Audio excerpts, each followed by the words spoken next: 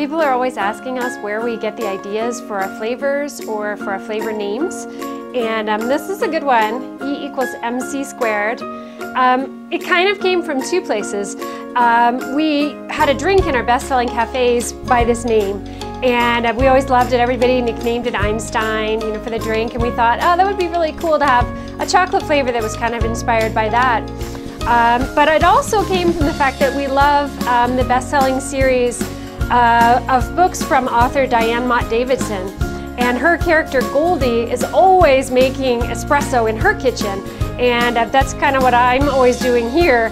Uh, Max always needs the great tea and I always need the great espresso. So, uh, you know, we're always like triple shot, she needs a triple shot. So we kind of were drawing on all of that when we came up with this one. Um, the only problem is you might notice from the package that apparently um, we can't spell the word Colombian. Didn't catch the mistake until after it was printed. Oh well. Let me show you what it looks like. We do this cute little drizzle of espresso frosting on top of the truffle and that's how it looks before you eat it. Of course, eating it's the best part. Mmm. It's so rich and so dark. And the espresso just really melds with that dark chocolate, creates that whole mocha thing going on.